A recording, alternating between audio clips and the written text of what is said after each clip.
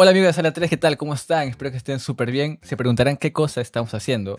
Y es que me junté con los amigos de Club Cinema, Camila, Gabriela, Luis y Jeffrey, para poder conversarles sobre la película Justice League Snyder Cut, lo nuevo de DC Comics, que ya lo hemos visto de manera legal, completamente legal. Hemos pagado cada uno nuestros centavos para verla. Y nada, vamos a conversar eh, sobre la película. ¿Cómo están muchachos? Preséntense, por favor. Hola, bienvenidos a este intento de podcast para hablar sobre la Liga de la Justicia. Estamos más que preparados después de haber visto la película por más de cuatro horas, así que vamos a ver qué sale de esto. Por la izquierda tenemos a Camila. Hola, ¿cómo están todos? Soy Camila Iturregui y bueno, espero que eh, disfruten este podcast, ¿no? Que está muy Espero que sea muy interesante. Por la derecha tenemos a Gabriela. Hola, ¿qué tal? Bueno, hoy día vamos a hablar un poco sobre el Snyder Cut, nuestras impresiones y nuestras opiniones. A ver, ¿qué tal? Y por el centro tenemos a Luis Alcedo. Hola, hola, ¿qué tal? Pero bueno, vamos a empezar con esta película que, de que todos están hablando. Una película que ha venido a sorprendernos y del cual todos teníamos mucho hype por, por saber qué cosa ha hecho Snyder con esta versión que nos trajo eh, Warner y Josh Whedon en el 2017. Eh, Jeffrey, ¿qué te pareció a ti la película? Después de haber estado sentado por más de cuatro horas, la película te deja con unas ganas de querer ver un par de horas más. Realmente Zack Snyder se lució con esta entrega y pues mejoró a gran escala lo que había presentado Widow en el 2017.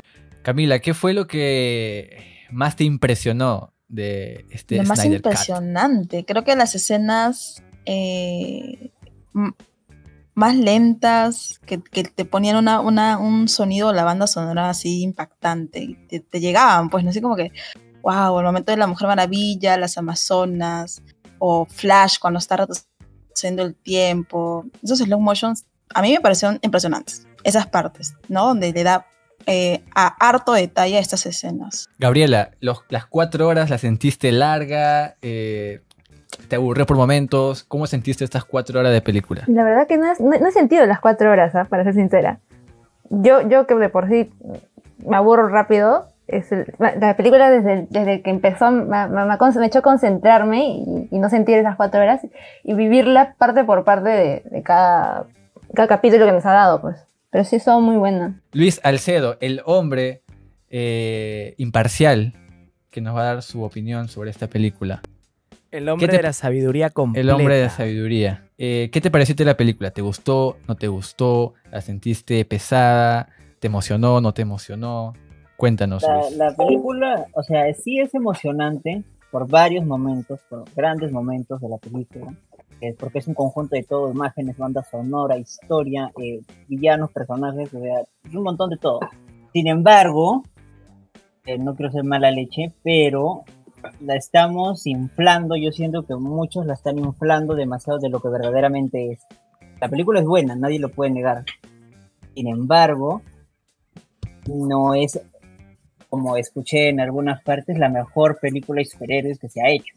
No, yo considero que no.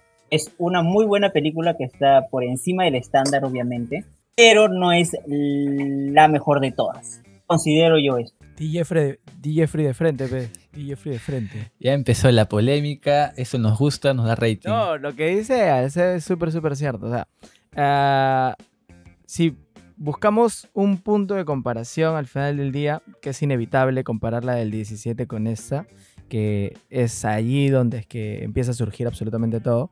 Eh, definitivamente esa de aquí es mucho, mucho mejor y a gran escala y era lo que se esperaba o lo que debería haber pasado. Eh, pero sí, o sea, si lo comparamos con alguna película o otra película de superhéroes, que tampoco soy un experto dentro de, la materia, eh, no podríamos decir que, es la mejor.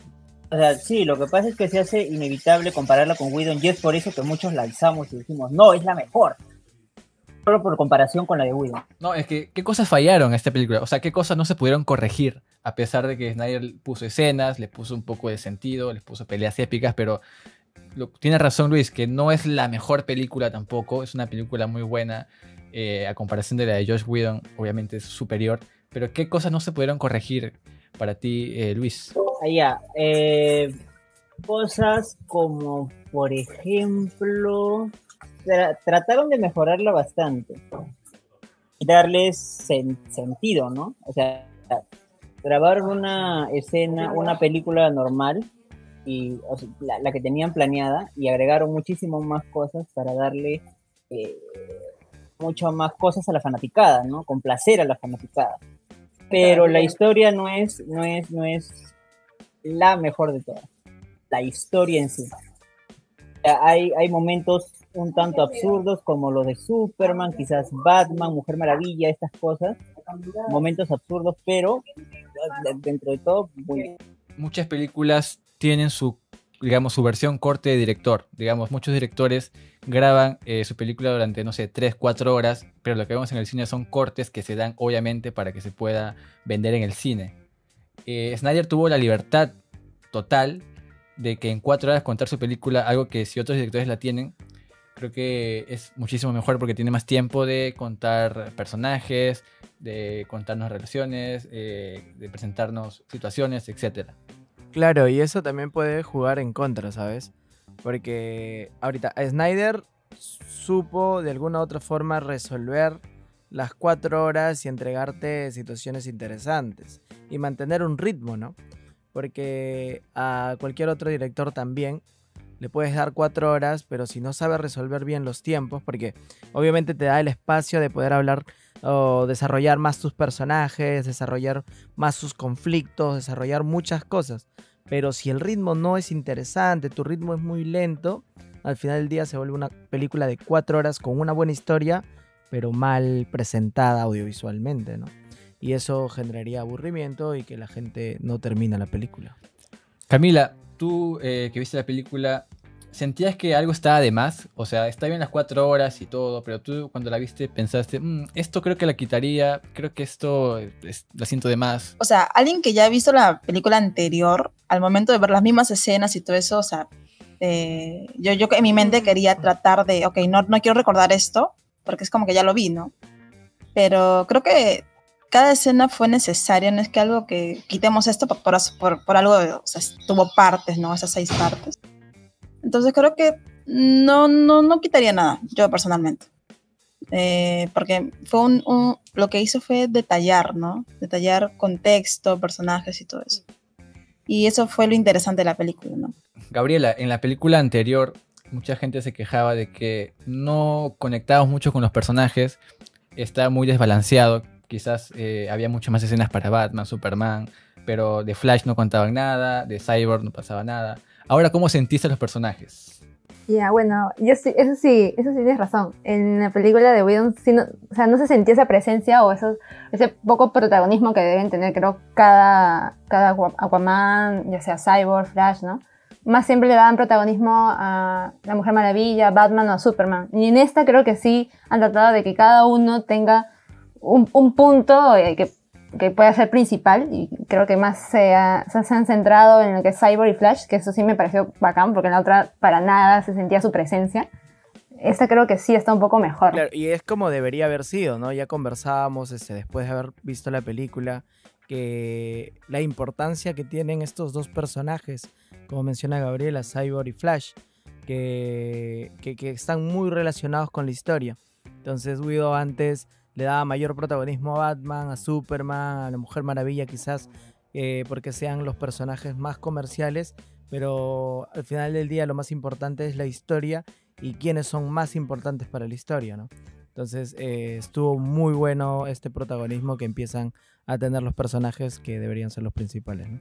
Claro, porque ahí podríamos comparar lo- los roles que, que tuvieron cada uno, pues, ¿no? Batman en reunir a, a los superhéroes, ¿no? A los eh, la Mujer Maravilla, combatir. eh, el otro, no sé, Flash. Eh, Al principio se Acá- ve como tipo, un poco algo inútil, del bromitas y todo eso, pero ya luego le dieron esa, esa relevancia. Y Cyborg, Han ¿no? creo, si tratar cada... si él en las, en las cajas madres no hubiera pasado. Yo creo que han sabido tratar a cada, a cada personaje, le han sabido sacar su, su protagonismo, lo que pueden decir o, o cómo contar su historia de cada uno, a mi parecer. Y eso sí me ha gustado bastante, muy diferente al, al anterior. Ahora sí se ha sentido su presencia de ellos, eh, saber un poco cómo son, no, no tratar de ponerlos como tontos, que clásicos siempre lo hacen, sino que un poquito más allá de qué es lo que pueden hacer más, ¿no? Y no tanto ese de siempre Superman o Batman o Mujer Maravilla, ¿no? Sino que también los que son un poquito menos también lo pueden lograr. Ah, eh, sí, o sea, con respecto al, desarrollo de personajes, incluso los personajes secundarios eh, tienen un pequeño desarrollo de la historia en el caso de la mamá de Superman, en el caso de Luisa Lane. Eh, tienen también este, roles importantes dentro de la historia, pero te, te cuentan qué ha sido de estos personajes, ¿no? El papá de Cyborg, entonces eh, el papá mismo de Flash también, que le empieza a dar más sentido a las motivaciones de los personajes, ¿no? ¿Por qué Cyborg está tan enojado con la sociedad? ¿Por qué eh, Flash es que estaba buscando trabajo en vez de utilizar sus superpoderes eh, para salvar el mundo o, o el no aceptar sus poderes? Entonces, eso es bastante, bastante chévere que hayan podido desarrollar.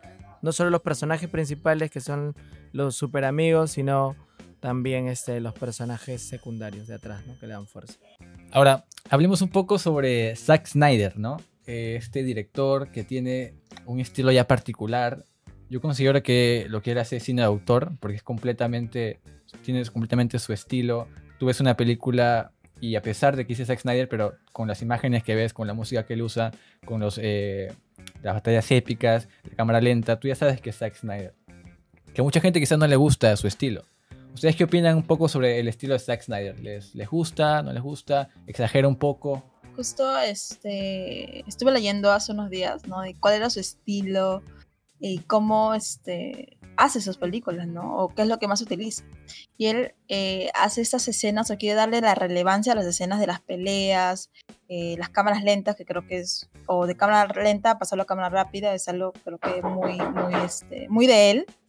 Entonces, creo que eh, lo, lo hecho así, lo lo ha plasmado así en la Liga de la Justicia, ¿no? Entonces es algo que le refleja su, cómo maneja esas películas, cómo las dirige, ¿no? De, todas maneras, el no haber cobrado eh, en esta, para esta producción le dejó abierto la posibilidad de lucirse tal cual eh, Snyder es y cómo es que ha ido mejorando todas estas habilidades o todas estas ideas que él ejecuta dentro de las películas eh, sean más pulidas. O sea, logró que, que, que, que lo que él hace sea mucho mejor y utilizarlo en su máximo esplendor dentro de esta película. Y Zack Snyder tiene un estilo, como tú mencionas, bastante personal, pero también es bastante épico, sabe mostrar las escenas de pelea y meter súper, súper epici- epicidad a todo ello y le ayudó mucho a la película. Entonces, eh, mantener esta esencia de Snyder es bastante buena, pero también siento que quizás Snyder quiere que esta sea como que el- la fórmula DC, así como eh, Marvel tiene su propia fórmula de cómo se hacen las películas, las- los colores, las historias, los personajes, los chistes, los gags y todo lo que pueda haber. eh, probablemente Snyder también está buscando, ¿no? Que él sea la persona que dirija el camino de lo que vaya a ser eh, el UDC, ¿no? Este, en los próximos años. No sé, eso es lo que yo siento. ¿Tú qué opinas, Luis? ¿El estilo de Snyder es el que más le conviene al, al- a DC Comics en el cine?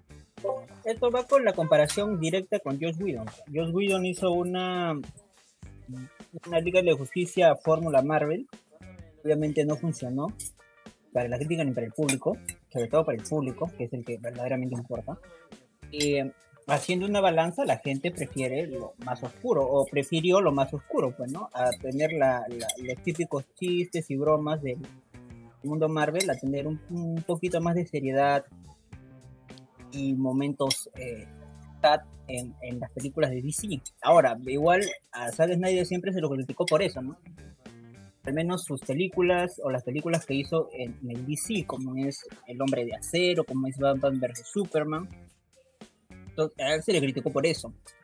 O muchos los criticaron por eso. Eh, pero haciendo una balanza, la gente, la gente prefiere este tono serio que queda mejor con, con DC, ¿no?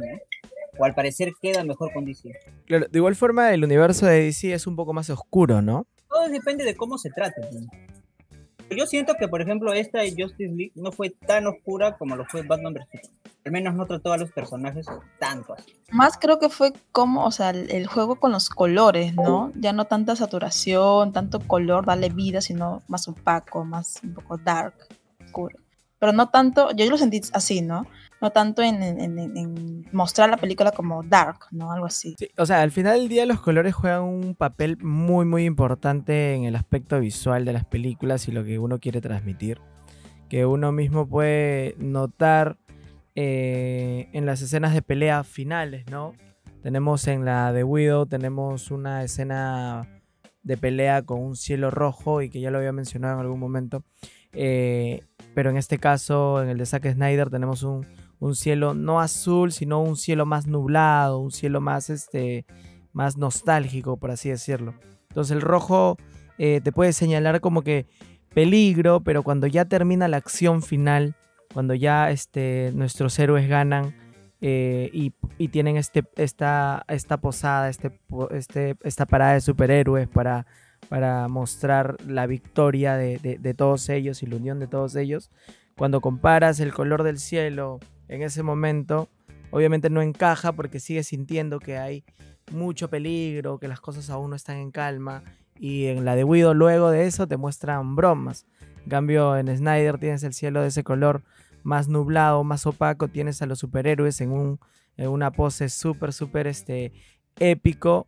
Y después nos vas descubriendo qué es lo que sucede. Entonces, ahí también ayuda para poder entender que los personajes eh, ha- ha- ha- han obtenido la victoria, ¿no? Entonces sientes una emoción completamente diferente. Claro, aparte, si comparamos, digamos, como dice Luis, esta película con la de Batman contra Superman, que es un poco ya más oscura, sad, eh, en esta película la diferencia más allá de los colores y, y que no es tan sad, es un poco que se siente la atmósfera de esperanza, como que eh, Batman Superman fue, claro, un poco, un poco sad, un poco emo, pero en esta película hay como que esperanza y digamos juegan un poco con, el, con la fe. Batman, digamos, de alguna manera dice que tiene fe de que algo puede pasar, de que él va a volver. Eh, también eh, quizás un poco lo que le pasó a Snyder cuando dejó la, la producción, ¿no? Tuvo problemas personales. Eh, el volver a hacer esta película, el reivindicarse y, sobre todo con ese tráiler que donde puso el Aleluya, da un poco esta atmósfera de que esta, esta película es este como que se aferró y pudo salir adelante. Y eso se, se transmite, creo, durante toda la película, este como que de esperanza, como que sí se pudo. Sacarlos afuera, ¿no? Color de esperanza. De todas maneras, eh, Batman tuvo fe como Vin Diesel en Rápidos y Furiosos 7, ¿no? Entonces, este... Ah, te burlas. forma- no, no, lo que dices es muy cierto. Lo que dices es muy cierto. No era algo que lo había notado así eh, completamente este, o, o- o directamente. Pero sí, podríamos hablar de ese color. eh, estos colores que utiliza te da esta sensación de, de- de esperanza, de que cosas van a ser mejor. Y, incluso para cada uno de los personajes, ¿no? Que empiezan a unirse en una etapa de su vida en la que eh, las cosas todavía no están completas, ¿no? Flash está descubriéndose a sí mismo, está tratando de ayudar a su padre, eh, Aquaman aún no acepta eh, eh, el reino marino, este, tenemos a Cyborg todavía conociendo sus poderes, eh, tratando de perdonar a su padre, tenemos a Batman arrepentido y tenemos a una Mujer Maravilla que, que, incluso cuando se enfrenta directamente con Stephen Wolf, le, eh, le dice, ¿no? Este, te alejaste de tus, de tus hermanas, que no viste morir a tus hermanas, no les apoyaste. Entonces, ¿no? Todas estas, e- estas este, historias que tienen los personajes, que luego van aprendiendo y mejorando, pues acompañan mucho, mucho con el color y la forma en cómo Snyder cuenta, ¿no? Y aparte de eso, mezclado con la esperanza de poder ver el Snyder o poder ver realizado este corte, pues todo, todo juega bastante bien. Ahora, hablemos ya un poquito con spoilers, aunque es más o menos casi la misma película que hemos visto en el 2017.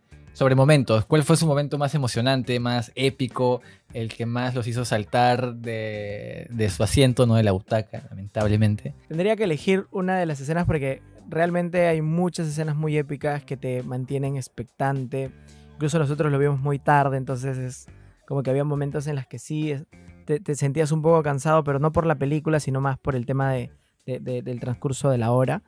Pero este, un, un- momento que, que me queda a mí y que me gustó un montón fue cuando ya este, llega Superman y están a punto de cortarle la cabeza a Stephen Wolf y este, la Mujer Maravilla da el golpe final, ¿no? ¡Pum! La cabeza cae adentro y hay este careo entre Darkseid y la Liga de la Justicia que ya está unida, ¿no? Por fin vemos a la Liga de la Justicia eh, realizando un plan, ¿no? Porque ya Flash dice, ¿no? Ahora sí tenemos un plan, ¿no? O eso sí es un plan. Entonces realizando el plan, uniéndose Superman y por fin vemos, ¿no? Eh, congregada a la Liga de la Justicia y nos deja una posible señal de que hay una pelea a futuro contra este Darkseid, ¿no? Entonces esa- ese momento es, es espectacular. Em, o sea, momento favorito, favorito podría ser eh, eh, la primera parte eh, con las Amazonas.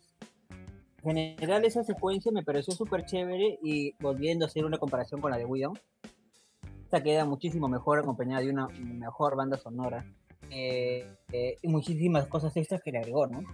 Entonces, eh, sí es, diría, la, la- la mayoría en que salieron la- las Amazonas. Y, eh, y podría ser la historia cuando cuenta eh, cuando cuenta la, historia Wonder Woman, ¿no? Del, del pasado. De, de- de los dioses, cuando lucharon contra Darkseid. Más allá del, del CGI, la historia y el misticismo que se dio, a mí también me pareció súper chévere. Ahora, es la misma historia al final del día, ¿no? Porque este, la Mujer Maravilla nuevamente le cuenta, aunque eh, eh, eh, le cuenta, ¿no? Por, dando un paseo por el parque y toda la vaina. Pero este, en este corte, Zack Snyder, como Zack Snyder tiene la costumbre de hacer, o bueno, al menos aquí se dio el tiempo de mostrar un poquito más a los dioses, la pelea. Entonces, este, eso nos permitió poder disfrutarla más, incluso mostrando ya a Darkseid, ¿no? A mí, yo, te- yo de las Amazonas, la parte de la batalla y la de El sueño de, de Batman. Esa me encantó con el Joker. La conversación entre. La conversación entre Batman y Joker. Ve, ve- ve este, este Joker que es de Jared, a comparación de cómo lo hizo en Escuadrón Suicida, mm, totalmente diferente. O sea, no pensé que lo iban a como que a mejorar un poco más su papel y que le haga una, una escena muy buena. Y eso que lo han grabado por separado, por lo que leí, cada uno por su lado. Pero eh, cuando era verlo ya así hecho, muy buena. Me encantó bastante esa parte. Eh, para mí lo que más nos emocionó así personalmente, obviamente, es de la Mujer Maravilla. Todas esas escenas con, con, el- con el- la música de fondo, haciéndole mostrar como alguien súper poderosa.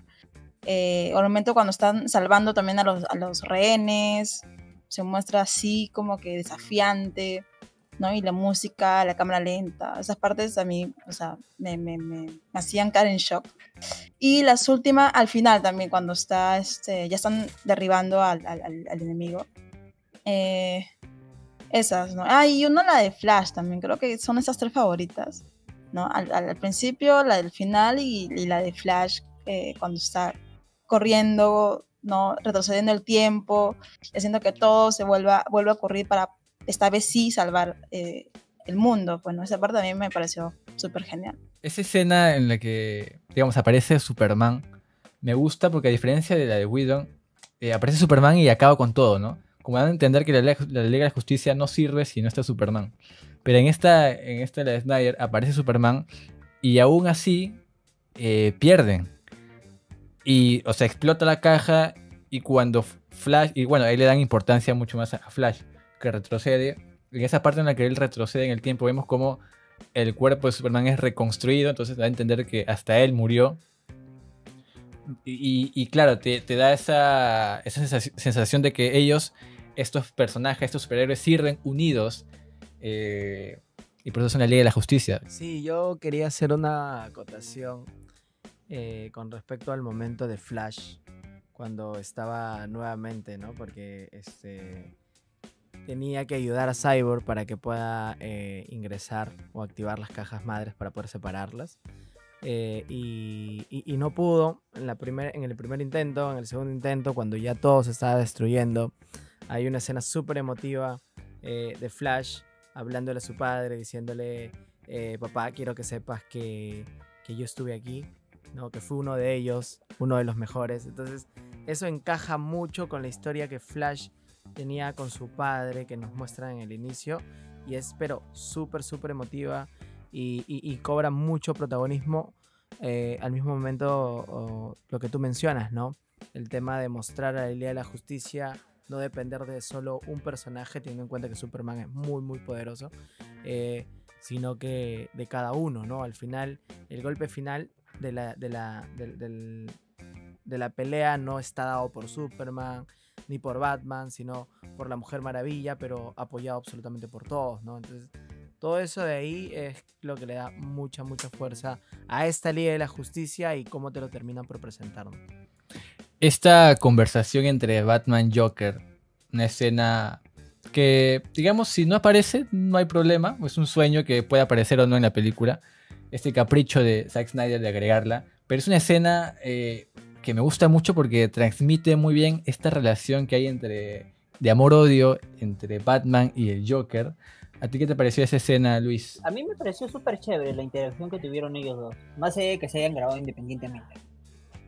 La, la interacción entre ellos es, es- mucha gente, ya sea en las películas animadas o en los cómics, la ha visto y la siente como verdadera. Así se tratan o se tratarían ellos dos si estuvieran en esa situación.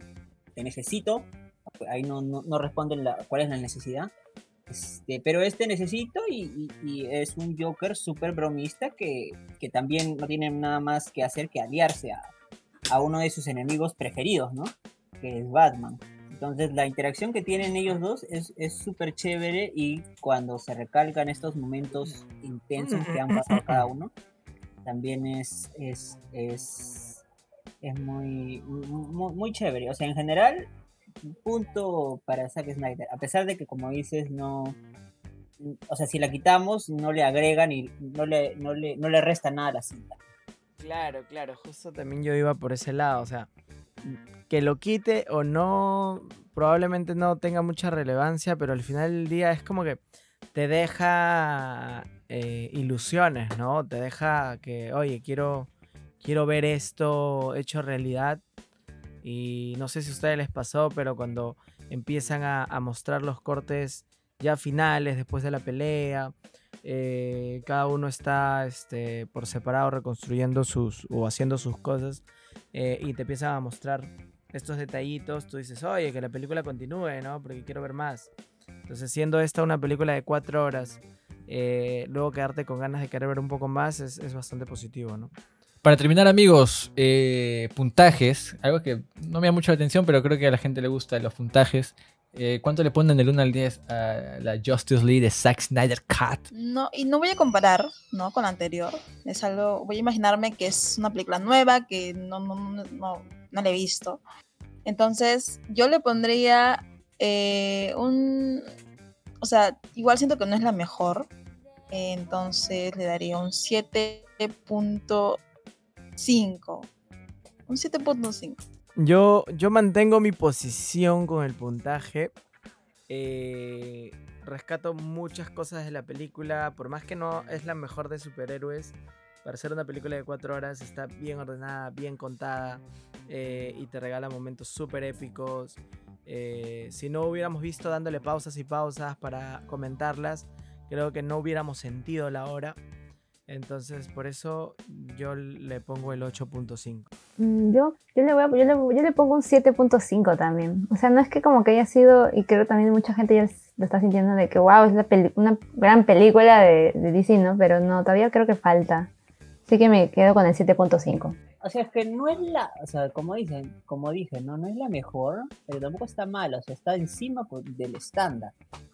Una película normal, es mejor que Batman v Superman, es mejor, muchísimo mejor que Superman, el hombre de acero.